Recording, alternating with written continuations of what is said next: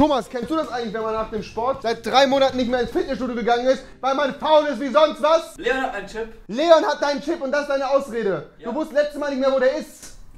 Ja, weil Leon den hat.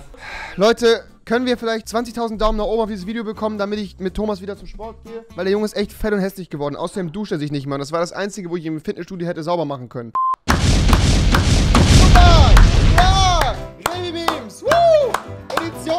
Nummer 23. Einen großen Applaus für Remi Mix. Ja! Auf damit, hör auf damit, habe ich gesagt. Ja, meine lieben Freunde, willkommen zurück zu einer weiteren Schandshow auf YouTube. Willkommen zurück zu einer weiteren Episode von Revi Memes. Ihr habt tatsächlich, obwohl ich jetzt schon mehrfach darum gebeten habe, nicht aufgehört, Memes von mir zu erstellen, die unter ihr, die schlecht sind. Dementsprechend, meine Freunde, bin ich euch auf jeden Fall an der Stelle dankbar, weil ich natürlich für das heutige Video wieder keine Ahnung hatte, was ich machen sollte. Da dachte ich, bedienst du dich doch einfach mal wieder, wie man das von mir kennt, am Content deiner Community, um daraus selber monetär mehr Wert zu schöpfen. Das habe ich richtig gut gesagt, Alter. Mad Respect. Wo ist mein Pulitzerpreis? Wo ist... Thomas, wo ist mein Pulitzerpreis?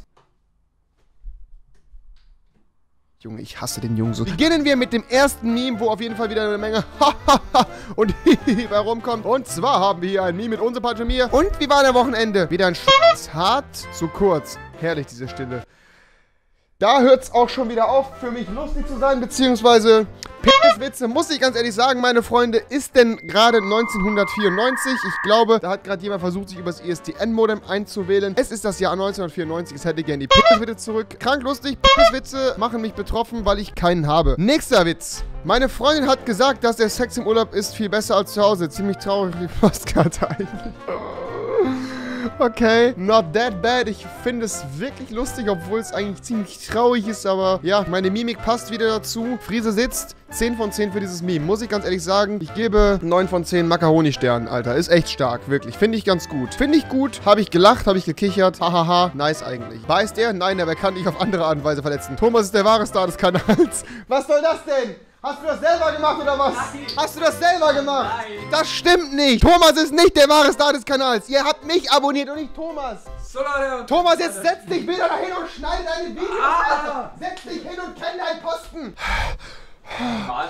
Oh, habe eben auf Facebook auf alle Freunde Anzeigen geklickt. Hoffentlich landen sie alle im Knast. Ist das stumm? Oh mein Gott, tut das weh.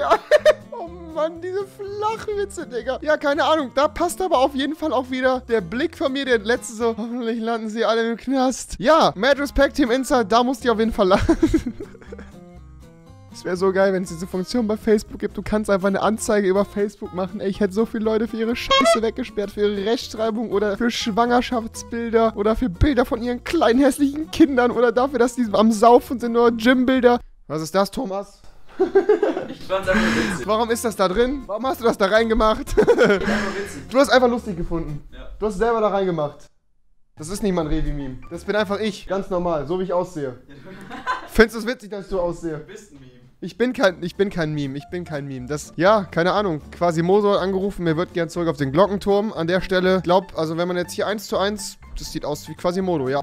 Nice, danke dafür, Thomas, danke dafür, liebe Community. Allein zu Hause, Gedanke, Party, Party, Realität mit offener Tür pinkeln. Tatsächlich nicht, ich äh, scheiße immer mit offener Tür, stehe aber gar nicht im Raum drinne, sondern hab halt so kleine, ich hab so eine Murmelbahn, Leute. Und da mache ich dann drauf und das rollt dann ins Klo hinein. Ist sau spannend, kann ich auf jeden Fall echt nur empfehlen. Wenn ich dann noch mal sturmfrei hab, hüpfe ich auf sämtlichen Betten rum, also nicht nur bei mir, sondern auch bei meinen Nachbarn. Da gab es schon öfter Ärger für, weil ich dann halt bei denen eingebrochen bin, auf dem Bett gesprungen bin. Bin ein sehr stressiger Nachbar, ja. Aber tatsächlich, wenn ich allein zu Hause bin, liege ich meistens einfach im Bett und schaue eine Serie und schlafe innerhalb von 20 Minuten ein. Mein Leben.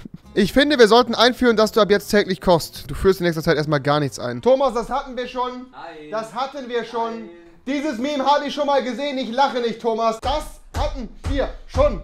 Nein. Doch, das hatten wir schon. Ich google jetzt, wie alt das ist. Okay. Mach weiter, ne? Okay, okay, okay, okay. Okay. Jodys Blick passt da auf jeden Fall. Du führst in nächster Zeit gar nichts mehr ein. Es sieht aber auch so ein bisschen aus, als wäre ihr gerade etwas eingeführt worden. Man weiß es nicht. Herr Doktor, wie lange habe ich noch zu leben? Zehn. Zehn was? Tage, Wochen, Monate? Neun. ja, passt perfekt einfach. Passt perfekt, passt perfekt. Herr Doktor, wie lange habe ich zu leben? Zehn was? Tage, Wochen. Warte, ich mach's mit der Palutenstimme. Zehn was? Tage, Wochen, Monate, Herr Doktor. Uiuiui, Edgar. 9. Ja, passt auf jeden Fall. Mad Respect dafür. Rivera 10 von 32. Finde ich lustig. Haha, geil. Eine Woche ist es alt. Stopp, das habe ich schon mal gesehen bei Seite mit dir. Wieder. Wie konnte ich mich nicht zwischen Hallo und Morgen entscheiden? Hey, Mollo. Was? Ich konnte mich nicht zwischen Hallo und Morgen entscheiden? Wohlpilz sagt mir Hey und ich sag Mollo? Hallo und Morgen ist Mollo? Was ist das denn, Alter? Mollo. Ich fühle mich irgendwie sau unangenehm, wenn ich dieses Wort so lese und ausspreche. Das gefällt mir gar nicht. Nee, finde ich nicht gut. Mollo finde ich nicht witzig. Nee, mag ich nicht. Nee. Ich habe erfolgreich die Uni abgeschlossen, Sebastian Hausmeister. Warum bin ich der Trottel in dem GIF? Warum nicht Petrit? Guckt euch Petrit an. Guckt euch Petrits Mimik an und dazu meine. Es hätte bei Petrit viel besser gepasst. Aber wisst ihr, warum es keine Petrit-Memes gibt? Weil Petrit ein irrelevanter und unlustiger und hässlicher Vogel ist. Im Gegensatz zu mir. Der ein geiler, erfolgreicher, im Leben stehender YouTuber ist mit vielen Leuten, die ihn mögen und ganz lustig auch ist. Das bin ich. Nö. Du kommst mir vor wie Löwenzahn. Du kommst, du kommst mir vor wie ein Löwenzahn. Wieso? Naja, einmal kurz geblasen und der ganze Samen ist weg. Och Gott. Och Gott, Alter. Ich krieg wirklich einen Herzinfarkt oder einen Schlaganfall, wenn ich sowas lese. ist doch nicht lustig. Erstmal kann man Löwenzahn nicht wegpusten, weil das diese verkackte gelbe Blume ist. Was du meinst, eine Pusteblume, die sich irgendwann vom Löwenzahn zur Pusteblume entwickelt. Warte mal ganz kurz, stopp. Das müssen wir jetzt wissenschaftlich ganz kurz aufschlüsseln. Pusteblume. Die Pusteblume ist eine Form der Pflanze gewöhnlicher Löwenzahn. Scheiße, ja. Aber das ist ja in der Theorie, wenn ich an Löwenzahn denke, denke ich an diese gelbe Kackblume und nicht an den Pustekack. Das Meme funktioniert so nicht. Nächstes. Scheiße. Darf ich Ihnen den Stuhl nach vorne schieben? Sebastian Gentleman fragt höflich nach Analsex.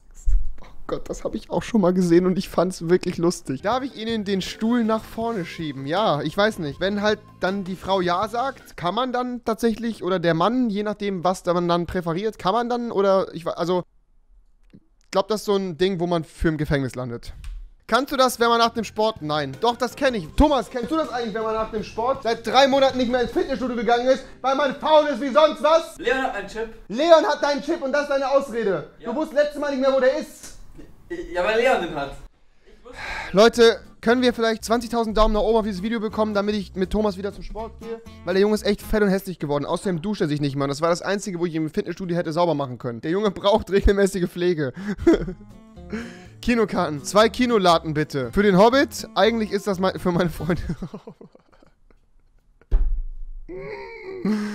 Oh, zwei Kinolaten, lol, Kinokarten. Ja, keine Ahnung. Ich glaube, das passiert halt ganz oft, wenn man mit Paluten tatsächlich in den Film geht. Dann fragt man halt für den Hobbit und nein, eigentlich ist das mein Homeboy Paluten. Paluten ist nämlich sehr klein und haarig, müsst ihr wissen. Also abgesehen davon, dass er im Gesicht nicht so viele Haare hat. Aber das habe ich ja auch nicht, das passt schon. Let it cringe, let it cringe. Na, na, na. Wieso habe ich eine Waffe in der Hand? Das finde ich geil. Wisst ihr, was ich meine? Ich bin älter mit einem geilen Schnurrbart und habe eine Gun in der Hand. Ich bin der heftigste YouTuber. Was soll man machen, oder? Was soll man machen? Ja, wahrscheinlich wird sich jeder andere das Leben nehmen, wenn er sowas über sich sieht. Aber ich, ich sehe das als Appreciation an, Leute. Ich sehe das als Appreciation und weiß, dass tief in eurem Innern... Ach, halt auf die Fresse. Ich habe letztens dem Postbote eine reingehauen. Ich meine, wer austeilen kann, muss auch einstecken können.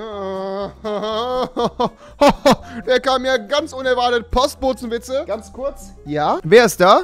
Das Jahr 1984. Thomas, das Jahr 1984. Die wollen ihre Telefonwitze zurück und Postboten.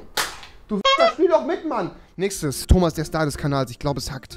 Dieser Moment, wenn deine Eltern in dein Zimmer kamen und du den Film guckst, wo gerade eine Bettszene kommt. Was? Wo gerade einen, eine Bettszene kommt. Aua, mir wird übel bei dem Deutsch. Oh, mein Bauch.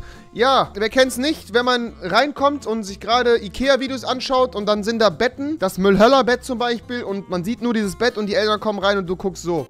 Relatable, oder? Relatable. Total relatable. Oder wenn Schlafcouch-Szenen kommen. Oder Tischszenen. Oder, oder, oder Schrankszenen, Leute. Boah. Sämtliche Möbelstücke in Filmen. Da werden Eltern schnell aggressiv. Oder geht's vielleicht darum, was auf dem Bett passiert in diesem Meme? Ich verstehe es nicht genau. Wir sind am Ende angekommen und sind gerade mal bei 11 Minuten, Thomas. Klasse Leistung, wirklich. Ich hoffe mal, ich hoffe mal für dich, dass das jetzt ausreicht, damit dieses Video nicht nur bei 10 Minuten 15 ist, damit mich nicht wieder irgendwer dafür outcallen kann. Und wenn es so ist, dann ist das Thomas schuld und nicht meine, weil ich strecke die Videos nicht, weil er es nicht gebacken bekommt, das im Schnitt so unterhaltsam zu gestalten, dass es für euch mehr als 10 Minuten ergibt, meine Freunde. Ja, hallo? Bitte, Thomas? Ja. Das Video ist jetzt 11 Minuten 3, äh, 8, 29 im Roh. Was können wir daraus machen? Tschüss. Christoph, 12 Minuten. Hallo? Hallo? Telefonwitze. Immer wieder ein Bringer. Meine Freunde, das war's von diesem wunderschönen Video. Ich hoffe, es hat euch gefallen. Dabbt euch auf jeden Fall durch die Natur. Ich habe wieder eine Community-Aufgabe für euch. Und zwar, Leute, möchte ich, dass ihr jetzt mal witzige Memes erstellt. Krasse Aufgabe, ich weiß. Versucht es doch einfach mal. Vielleicht kriegen wir es bis zum nächsten Mal hin. Lasst 20.000 Likes da und ich gehe Thomas im Fitnessstudio endlich waschen und mache davon ein Video. Wirklich. Und ich würde sagen, das war's von diesem wunderschönen Video. Ich wünsche noch einen schönen Tag. Ja, macht's gut. Tschüss, ne?